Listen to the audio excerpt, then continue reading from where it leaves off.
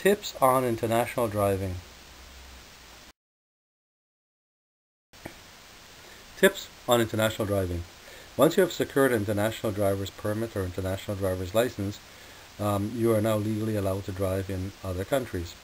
You should take note of different traffic rules and regulations in various countries. In our videos, we actually cover many different signs that you will see from different countries what they represent. And we also talk about the driving left-hand drive and right-hand drive.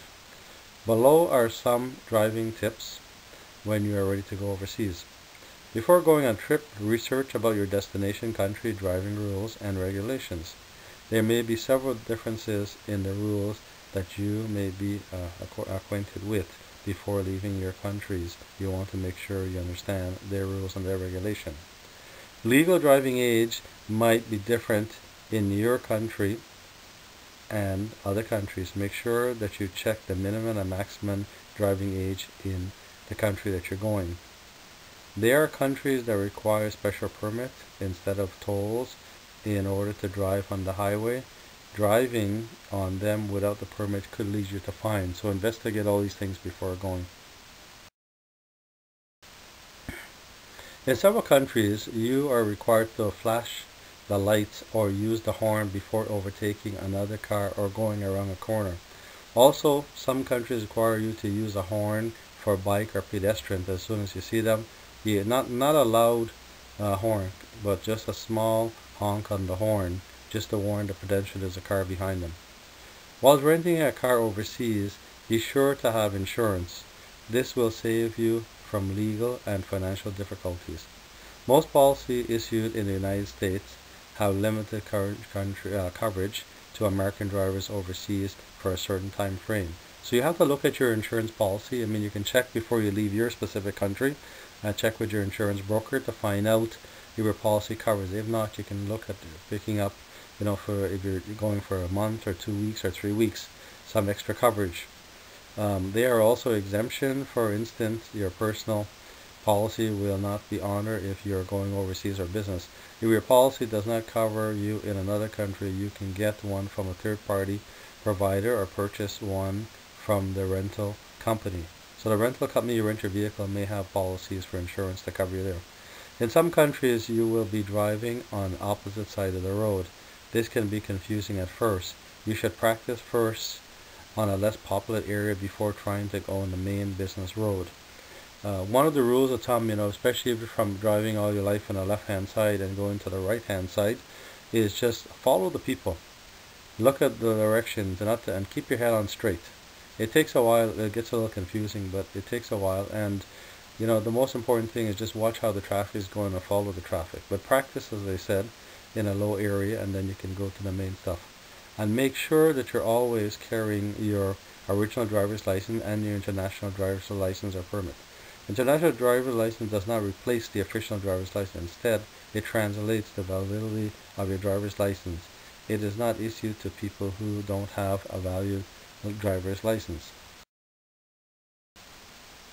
There's many um, things you may not be aware of in certain countries. We just point out a few of a few countries and some of the things that may be different to you.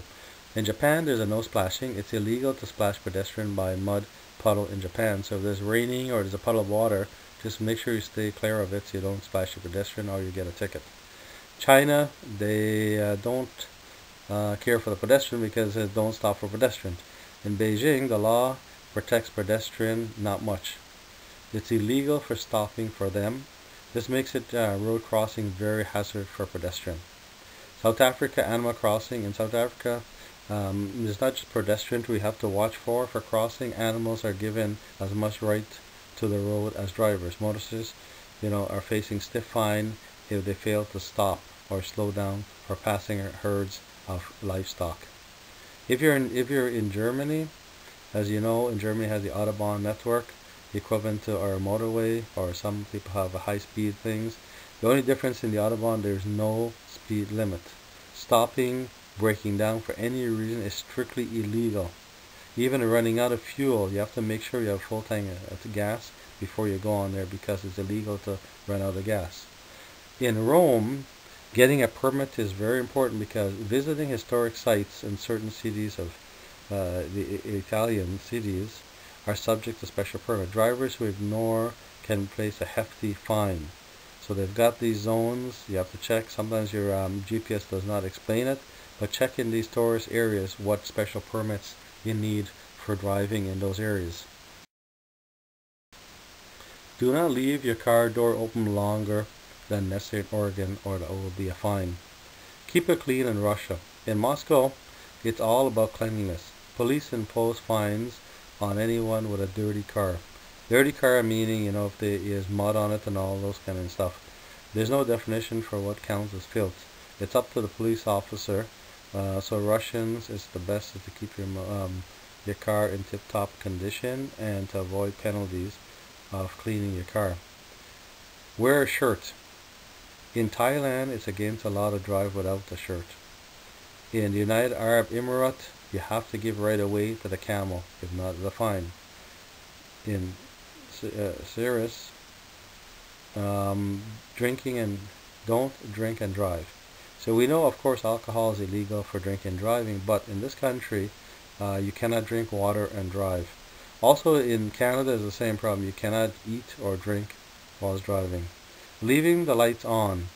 In North America, Sweden, and, and uh, most countries are changing to the new rule that your car light has to be on 24-7. Means every time you're on the road, the light has to be on. Some of the new North American cars automatically has a, a light that comes on. At nighttime, you can actually get a brighter light. But there's light has to be on by law. Saudi Arabia, Keep in mind women are not allowed to drive. Um, it's illegal for a woman to wear a house coat whilst driving in California. Tourist states like Nevada, Hawaii, Alaska, California enforces law against driving too slow. In Denmark, it's a law. Motorists, motorists are required to check the lights, the brakes, the steering, the horn. The horn every time they get this done. Drivers also required by law to check underneath their cars to make sure there's no sleeping children. Beijing, we know, has a big smog problem and many parts of China. So attempting to curb idling. So idling car is also illegal because of the pollution. Drivers are all liable and receive up to $5 fine in yen. Also a warning to stop for pedestrian is a, fine. Smoking is banned in most work vehicles in the UK. Now in, in Greece, you cannot smoke or puff your cigarette is outlawed in Greece. Parking in Spain. In a one-way street in some Spain cities, you can only park on the side of the road where houses are unevenly numbered on uneven days of month and on the side of an uneven on even days. Red light rules. You may curse them, but you're running late. The red light means stop.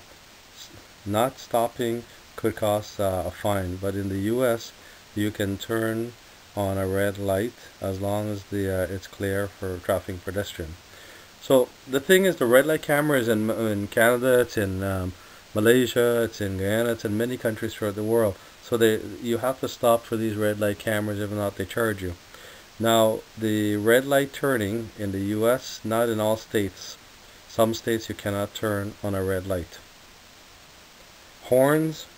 While in some country constant use of horn is important, most useful effect in conjunction with for languages directed to follow users. It may be surprise to you that many other, including UK horns, are banned at night in urban area. There is cities in Manhattan and New York that there's hefty fines for blowing your horn. Yet in you know in other parts of New York, it's you hear it every two seconds. People blowing their horn for no reason or not. Canada, Ontario, distracted driving. New rules, 2016.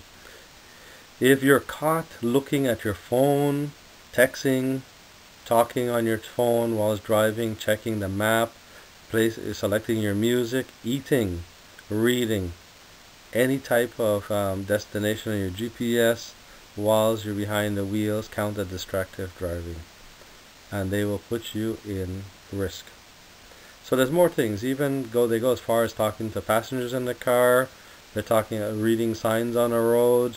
I mean, these are things that they have. It doesn't matter if you're on the highway or you're stopped at the traffic light. Distracted driving costs you money. The current fines of distracted driving is around $200 Canadian. Uh, those found guilty of distracted driving will face increase at a fine 490 treat the demerit points. Uh, the G, that means the learner ones, the G1, G2, can cause suspension of their um, learning permit on the spot. Pedestrian, pedestrian crossing, drivers have to wait until the pedestrians have completely crossed the road. So until the pedestrian completely cross over on any cross road, a road, any school crossing, they have to physically be at the end of the other one when the feet touches the other side, then you can proceed. These are new traffic law from the Ministry of Transportation. Passing cyclists, Drivers will have to give cyclists at least one meter room wherever possible. The fine for breaking this rule has not been set. Motorists uh, who open the doors on the vehicles into the uh, path of a cyclist will be fined $365 and three demerit points. The, the move over law, drivers are required to slow down and move in the next lane whenever there's an emergency vehicle. So if you hear a siren for the ambulance, the fire, the police. You see these things. Um, this applies also tow trucks with the amber light. There is a fine of $490. Alcohol and drug caught under influence is very severe. Uh, these include up to 3 to 90 days of license suspension and 45, you know, more than 45% of the drivers killed in Ontario are found to be under drugs or alcohol. So just be careful of the countries you go and the, and the cities uh, one country may have a rule, but each province or state may have specific. So look at that area you're going, research a light. For example, the red light camera. Sorry, the red light. Uh, certain countries, like for example, allow you to turn on a red light. You can turn right if you're a left-hand drive, or if you're on a right-hand drive, you turn left. The problem is, some, even in the same countries, some province, for example, may have you're allowed to turn right, and some says other province um, say no you cannot they charge you and I'll give you a good example in in the state of New York the state of New York in upstate New York you can turn right on a red light but on the downstate New York it's a fine you turn right on a red light they charge you in the same state so just be careful it's not just the city or the eh, sorry it's not the state or the province it could also be the city that you're in that may allow you uh, right across the border from New York and New Jersey, you can turn right on a red light. So I mean, it's just that all kinds of things have the different rules. So these are just tips we want to tell you to be aware of. Check out the places. Also check when you're checking the new rules. It's always good to check new rules. Look at the 2016, 2017, or whatever year you're in, and see what new laws that they put out, so you don't break these laws because they will not, you know, they will not let you off these are not the days that they give people a warning because you're a foreigner or a tourist. They don't care. They will charge you a ticket. They, they say it's your responsibility to know the rules before you go to that specific place. So please, don't get caught. Don't waste your money. Just spend a couple of minutes, research it, print it out, and study it.